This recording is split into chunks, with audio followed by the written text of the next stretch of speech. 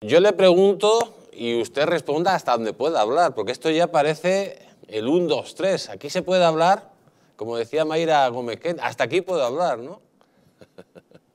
Así es, te digo que a mí me hace mucha gracia. Decía después, ¿sabe usted, del otro día de de de la eh, noticia de Baltoni que no iba a ser extraditado por, por el gobierno belga eh, a España por decir que en, sus canciones, canciones o lo que quiera hacer que haga este señor, en lo cual instaba a matar a guardias civiles y decían los suyos que era libertad de expresión. Fíjese qué barbaridad. Se metía con el rey, con, la, con según qué gente, y era libertad de expresión para ellos. Y yo decir, qué pena, qué pena en España, eh, qué vergüenza en España quitar la bandera de España, me supuso 60 días de empleo y sueldo. Y por llamar el del moño a un señor que tiene moño, como era Pablo Iglesias, me supuso 80 días de empleo y sueldo. Por tanto, ¿qué le voy a decir, José Ángel? Usted sabe, igual que yo, que eh, a mí me indigna y me avergüenza mucho que por pensar diferente, por salirme del talibanismo, del pensamiento único, eh, me persiguen, nos han perseguido a usted y a mí, por, porque, bueno, llegó nuestro querido amigo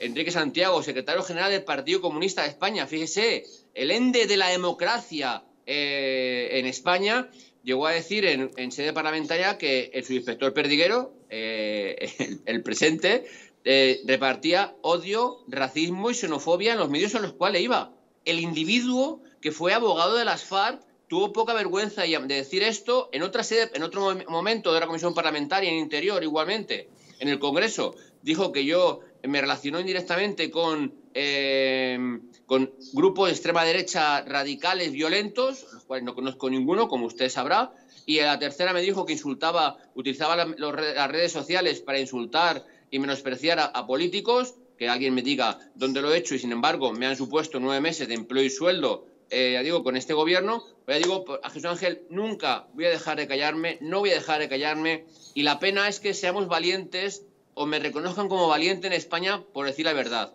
Esa es la pena, cuando la verdad debería prevalecer por encima de todo. Y sin embargo vemos que hay manipulación, mentira, eh, eh, de las, de las verdades, ya digo que ah, es, vergüenza, Jesús Ángel, pero por desgracia aquí estamos y mientras usted quiera estaré en su programa siempre que lo considere oportuno.